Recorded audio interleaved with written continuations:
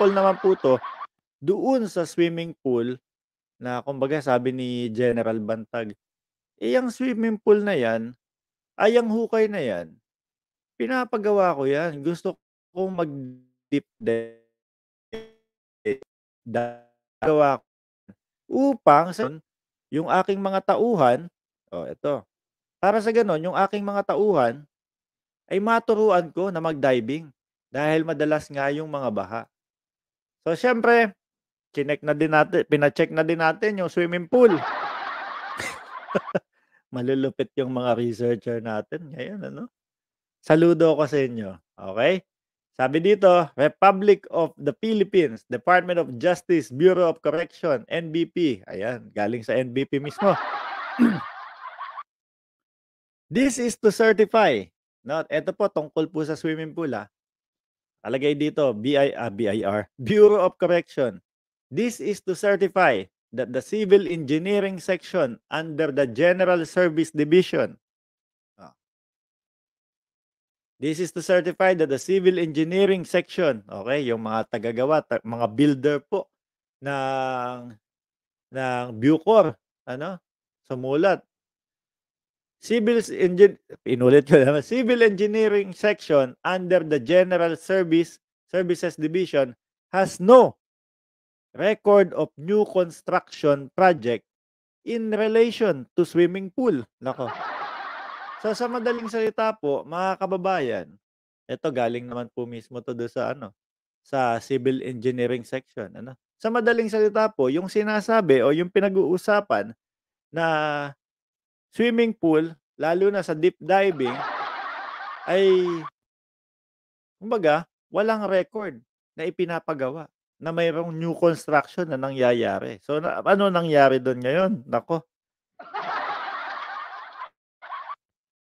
At the direct directors uh, quarters, NBP Reservation Poblacion Muni, uh, Muntinlupa City from year 2019 up to present. O, simula nga daw po nung 2019 hanggang ngayon, sa kasalukuyan, eh wala pong record yung pagpapagawa ng swimming pool. Nako.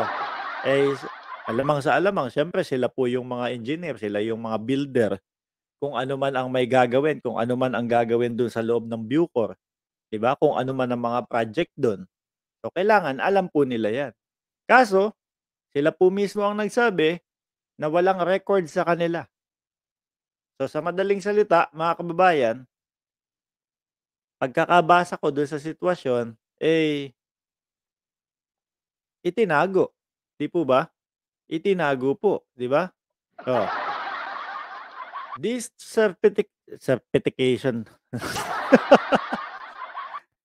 This eh, ako eh, talagang ano eh, malabo ako maging ano, um, newscaster, malag malabo ako maging broadcaster, eh, puro pabulol-bulol ako dito. Certification na lang, cer certification pa basa ko. Oh, mas masarap naman maging vlogger ano. Hindi kayo nakakulong, hindi yung sasabihin sa'yo, "Oh, eto i-vlog mo. Oh, 'wag mong i-vlog 'yan kasi kontrabantag 'yan. Oh, 'wag mong i-vla 'wag mong i-vlog 'yan. Kasi ano 'yan, um, pro bantag 'yan." Eh, eto kagaya po dito sa atin, lahat ibina-vlog po natin, 'no? Lahat ibina-vlog natin. Basta meron silang napag-usapan, pag-uusapan natin. So sabi dito, "This certification is being issued for any legal purposes it may serve. Issued um, this 15 day 15th day of November 2022 at Civil Engineering Building, Muntinlupa City." Ayan, Solomon Areniego, ayan, um, staff engineer for civil works. Nako, ayan. Mukhang kailangan din pong i-explain ito mga kababayan. No? Lalong-lalo na po yung mismong builder nila, mismong mga civil engineer nila ang nagpahayag na walang um, walang record sa kanila yung ipinapagawang swimming pool. Kailangan din pong ipaliwanag ito. No, kung kung bakit hindi kung bakit hindi sinabi, kung bakit hindi alam ng mga mismong, um, tagagawa nila. O paliwanag mo nga 'to ano, um, Gabi. Kung ano nangyari, bakit hindi kung bakit wala sa record 'no? Antabayanan din po natin yung mga sagot diyaan ni General Bantag, ano po, dahil siya yung may sabi na, "Oh, pinapagawa ko 'yan, deep diving 'yan para maturuan ko yung aking mga personnel, yung aking mga tauhan, para kapag dumating yung baha, marunong silang lumangoy." Ayan, okey?